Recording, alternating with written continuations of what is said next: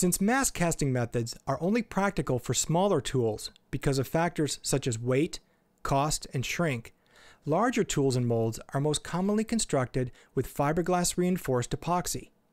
The point of this brief video is to show you the basics of laminating, specifically applying a surface coat, which gives your tool a high quality surface, applying layers of fiberglass cloth and laminating resin, which provides the strength and durability of your tool, and most importantly, showing you the almost tack-free state that tells you when your tool is ready for the next step in your process. Because if you proceed too quickly, you can ruin the work that you did in the previous step. And if you wait too long, your layup could possibly delaminate when it is put into service. We're going to start this section by demonstrating a very basic fiberglass layup.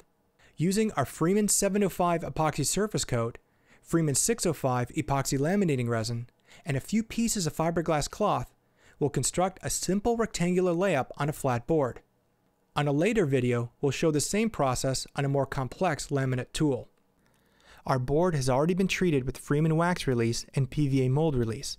For proper application procedure, please refer to our other video on this subject. We begin with our application of the surface coat directly on our part. We are applying this with a white bristle throwaway brush whose bristles have been cut in half in order to create a stiffer brush. Notice we aren't applying this like a paint, but rather we are flowing it on, creating a layer of material between a 32nd and a 16th of an inch thick. These materials do get hot when they cure, so we're careful to avoid large puddles of material. Normally, you'll want to apply two surface coat layers to make sure your part is covered with at least a 16th of an inch of material.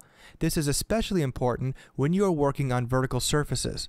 Plus, you will want the surface coat layer thick enough in case you need to perform any touch-up work later. If a layer of surface coat is too thin, this may expose the fiberglass cloth underneath if any repair work needs to be completed on the tool face. Before applying each additional layer of surface coat, our goal is to reach an almost tack-free state. This is the point where no material comes off on our glove, yet our finger does leave an indentation in the material itself, as shown here. The reason for this is we're setting up for the next layer of material. You want the first layer to be hard enough that the second surface coat does not push through the initial layer, but is not fully cured so good adhesion is obtained between the two layers. Earlier, we had tested the material and found the epoxy to still be too tacky. Notice the material coming off the part and onto the glove. Before applying the laminating resin, we cut our fiberglass cloth to the correct width and length using standard scissors. Of course, we also need to mix our laminating resin. Since this is an uneven ratio material, we followed that procedure. For more information, please refer to our other videos on weighing and mixing materials.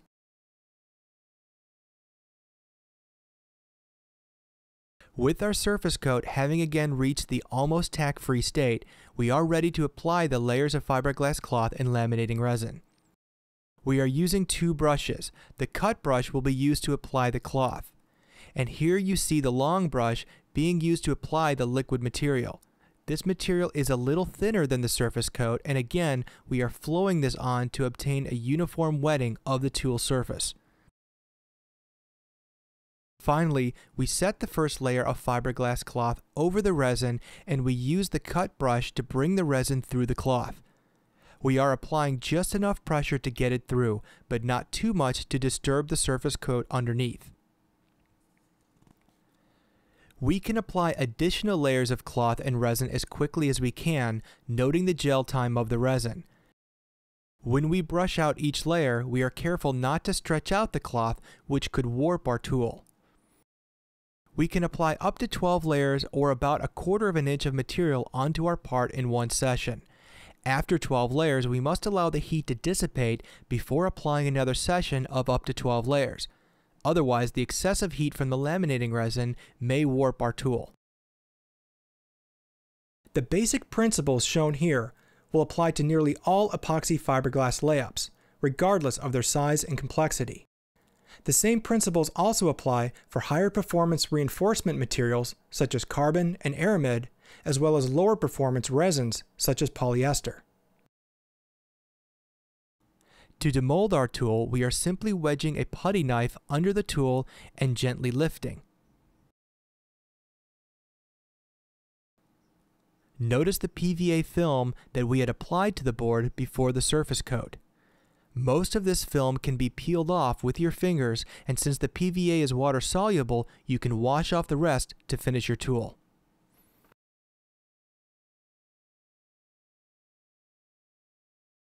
Please like, subscribe, and ring the bell to be notified when new videos are released. This particular video is part of a much larger set of videos, originally released as a DVD, but now available in our extensive online video library, which you can view for free at freemanvideos.com.